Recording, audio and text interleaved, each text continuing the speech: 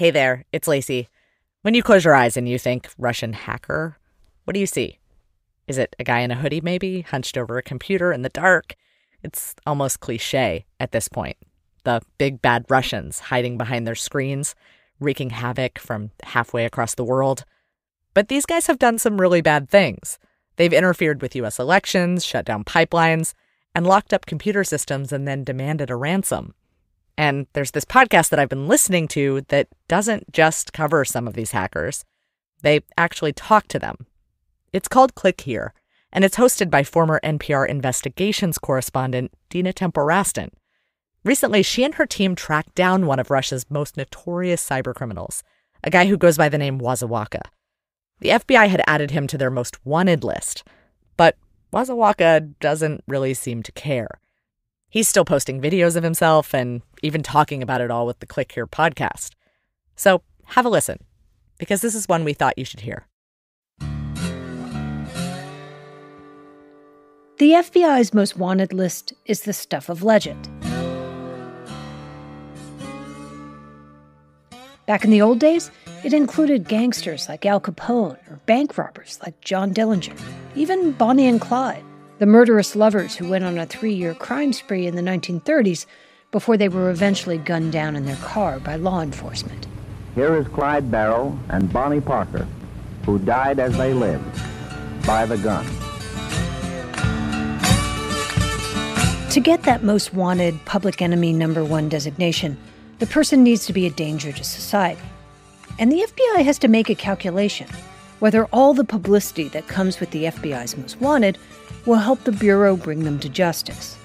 What may be less well known is that the FBI has a bunch of different kinds of most wanted lists. There's one for fugitives, one for kidnappers, and somewhat recently, one for the world's most wanted hackers people who have wreaked havoc from behind a keyboard. The actors named in this indictment were members of a hacking group operated in China. Involved hacking into computers of hospitals, municipalities, public institutions and businesses in the United States and and the people on the FBI's Cyber Most Wanted seem to fall into a couple of categories. Iranian hackers with first names like Amir and Ahmad, North Koreans with last names like Park and Kim, and Chinese hackers, many of whom appear to be in military uniform. And the newest inductee? He's Russian. His first name is Misha, but he's better known by his screen names Wazawaka or Boris Elson or M1X. And back in the spring, he landed on that most wanted list. We are following new developments this morning an apparent hack affecting DC police's computer network. Healthcare providers, school systems, all targets of a Russian national. The Justice Department is putting a bounty on his head to the tune of $10 million. He's worked with some of the most notorious cyber criminals in the world. And the Department of Justice claims the groups he's worked with have raked in hundreds of millions of dollars by stealing data and then holding it for ransom. And we tracked down this most wanted hacker, thought to be living in Russia, and we convinced him to talk.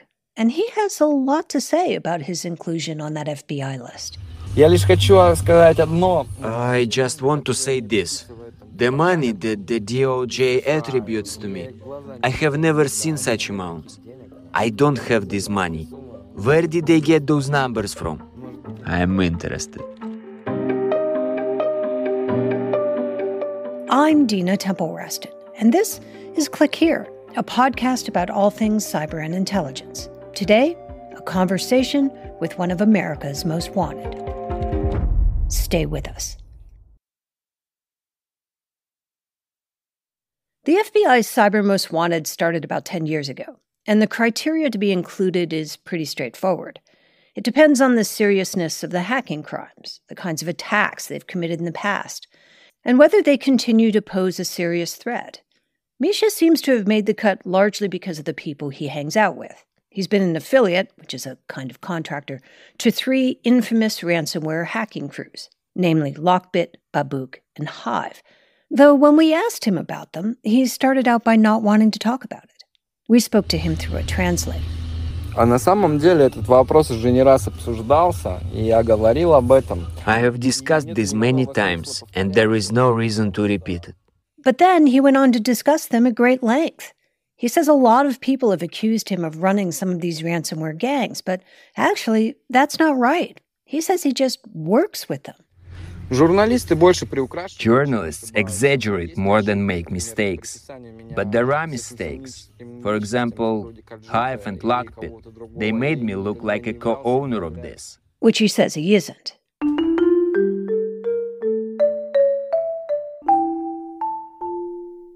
But even if he isn't running these groups, because he's worked with so many of them, he's a wealth of information about how they operate. For example, he says he thinks the best run ransomware operation is a Russian language one called Conti. Conti was very well structured.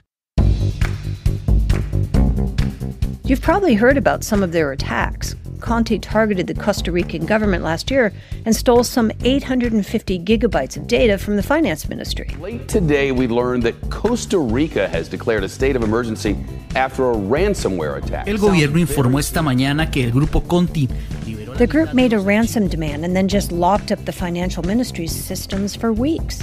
They doubled their ransom demand from $10 million to $20 million. They can do things like that, Misha said, because they are so well run. Просто хорошо выстроенная структура, как в обычном. It was run like a real world business, and they profited from that. Lockbit or REvil claimed others' work and boasted about other people's work. That's why they lost their way. You will not find anything bad written about Conti. They keep all their business promises. The product is well built. Conti broke up shortly after the Russian invasion of Ukraine. Its leaders said they were going to support Russia in the war. And then, in response, someone leaked their chats and revealed a bunch of their internal operations and secrets. After that, Conti appeared to just shut down, walk away. But Misha says that's not true. Conti's still around. They still exist, but we don't see them. The way the market is set up now, you don't see real groups, you only see the hype. Hype. The danger of someone like Misha, who isn't running a hacking operation but is only too happy to lend a hand to those who do, is that he doesn't care much who gets targeted. It could be the government of Costa Rica one day and a small working class town in the U.S. the next. Just ask Prospect Park, New Jersey. It's a small town. We're about just under like a square mile. This is Walter Richman. He's the officer in charge of Prospect um, Park. We border the city of Paterson, which is one of the major cities in New Jersey. Um, actually, many of our streets we share with Paterson. Half of the street will be ours, half of it will be uh, city of Paterson's. And this little town, back in the summer of 2020, was attacked by the Lockbit gang, a crew Misha had long been affiliated with.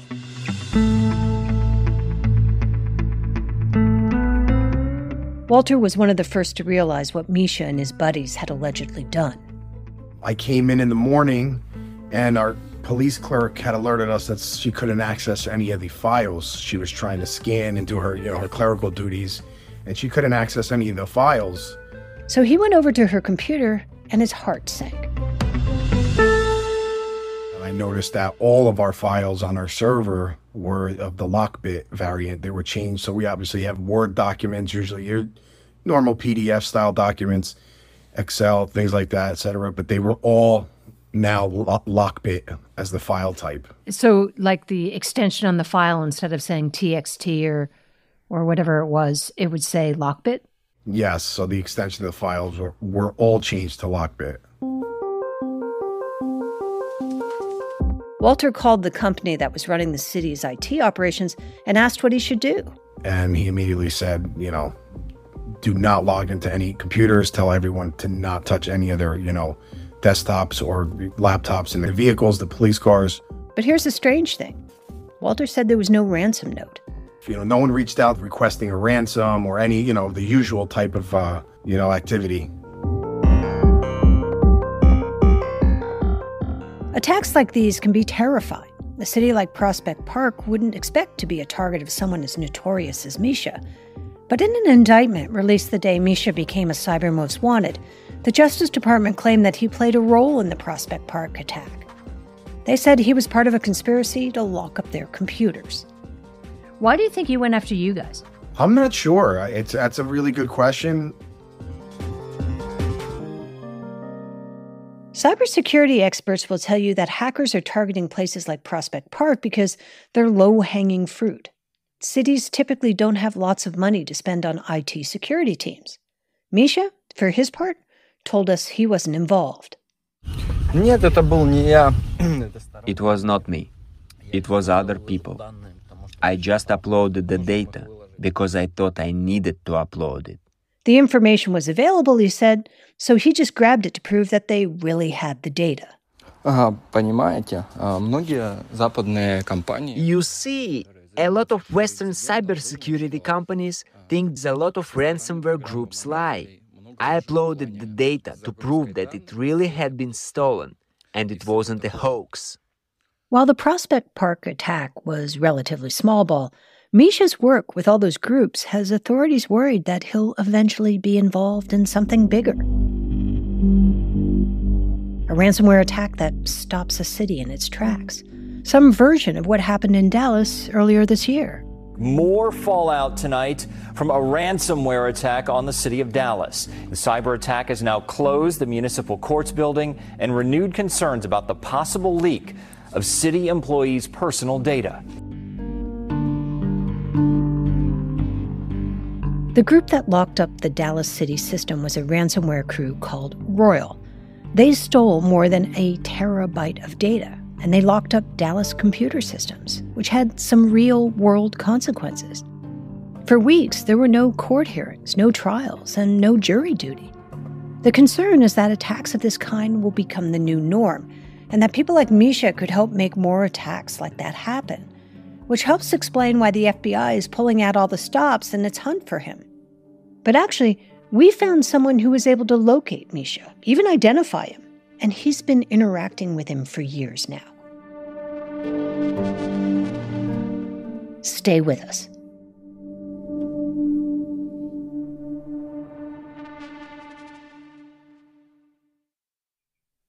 Azim Khodjibaev started tracking Misha a few years ago. He's a senior analyst at a threat intelligence firm called Cisco Talos. So, one of my research skills is to really deep dive into the human presence on the internet for individuals. And it turns out Misha had inadvertently left little digital footprints on the web, things he'd probably forgotten about. And Azim discovered them. Um, they made a small mistake in posting their both username and name in a very random forum post a very long time ago. Azim put that little piece of information together with other things he'd found. And then ultimately, that same name uh, was uh, matched to a resume that indicated and matched a lot of this person's activities. So when Misha reached out to him, Azim responded by saying he knew who he was. He did not deny it. Um, his response was actually uh, very jovial, inquisitive as to how I found out. But because of that, it was, uh, in my experience, one of the biggest icebreakers I've ever had.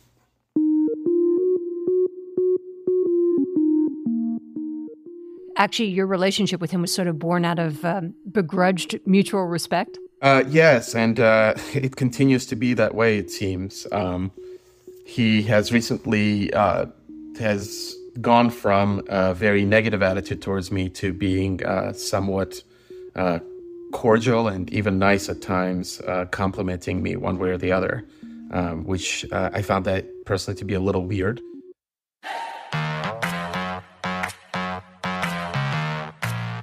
A producer on our team spent weeks chasing Misha, and he eventually convinced him to talk to us just a few days after he was added to the FBI's most wanted hacker list.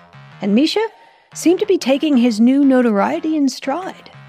Для меня это не было каким-то особым удивлением, я понимал, что рано или поздно это должно произойти.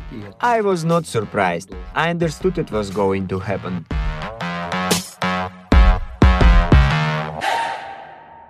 We worked out a system with him where we'd text him questions in Russian, and then he'd respond to us with voice memos. And we didn't exactly have his full attention. It sounded like he was running errands while he was talking to us.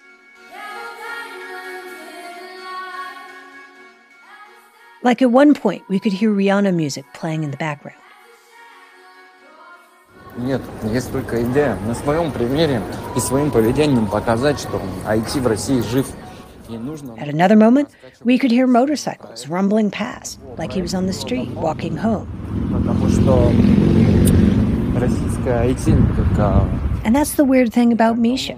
While he's being hunted by the FBI, he seems to spend a lot of time doing things that make it pretty easy to find it, like sending us those voice memos or posting drunk videos on social media.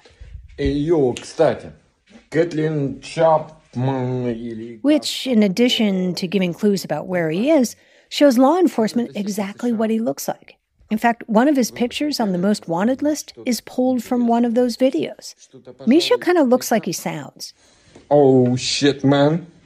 My workflow he looks straight out of Hacker Central casting, like one of those guys in the bar who makes you instinctively move a couple of stools away just so you can avoid any drunken interaction. And he's always calling out cybersecurity analysts on social media, goading them.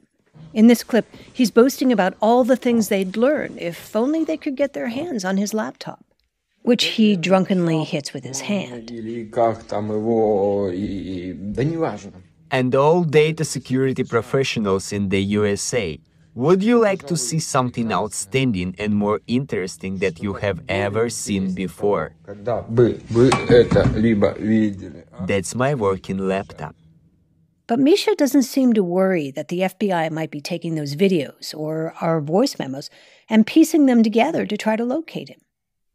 Are those the kinds of clues that you look for? To answer your question, I do look for those kinds of clues all the time. This is Azim from Cisco Talos again. He shares a lot of those kind of clues one way or the other. I don't particularly think he cares that he does that. He's been pretty open, for example, about where he's been living.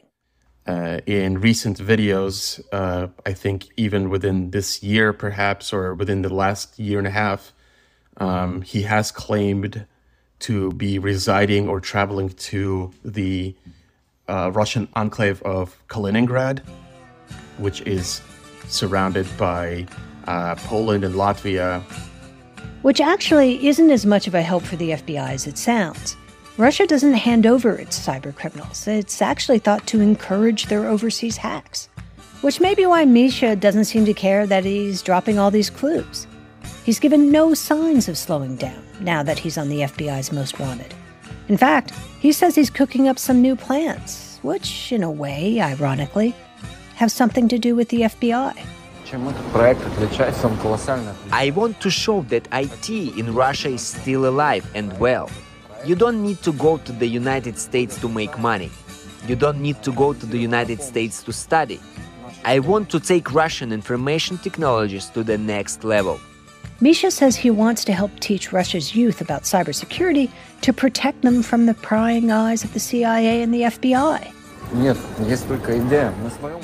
I also have this idea of organizing a project to teach children cyber hygiene, to protect them from attacks of all sorts from CIA, FBI, who recruits our citizens.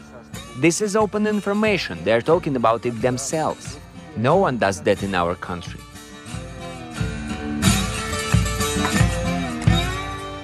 You're coming after me, he seems to say to the FBI. I'm coming after you. This is Click Here.